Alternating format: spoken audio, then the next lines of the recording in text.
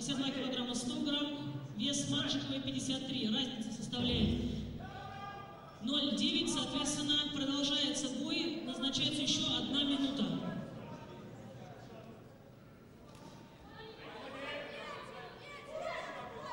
Еще две минуты, назначается две минуты.